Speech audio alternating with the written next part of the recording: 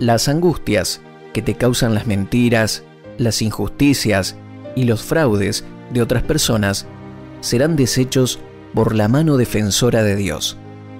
El Señor escucha tu clamor por aquellos que te causan malestar. Él intervendrá y te librará con su poder. El Salmo 120, versículo 1 y 2 dice, En mi angustia invoqué al Señor y Él me respondió. Señor, líbrame de los labios mentirosos y de las lenguas embusteras.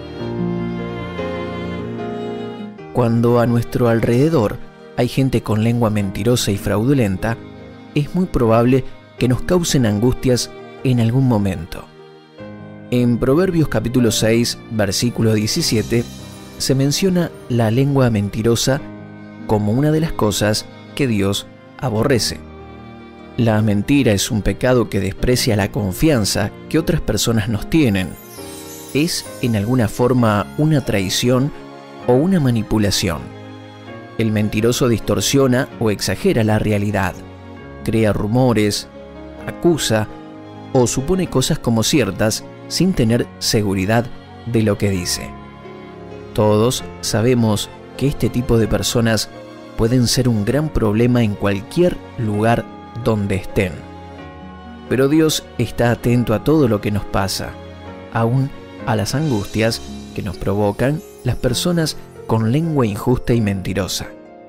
El Señor no solo te librará, sino que también te hará salir bien parado en toda situación que te cause molestias.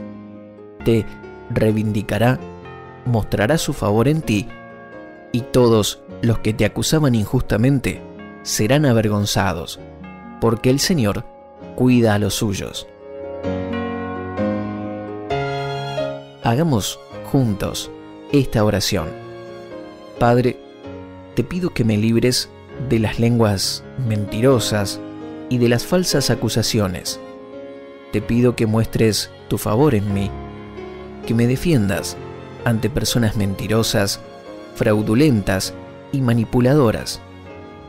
Pongo en tus manos todo problema que me cause angustias y clamo por tu liberación.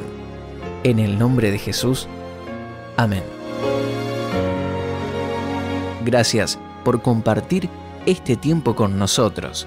Te saludamos desde avanzapormás.com. Estamos para bendecirte.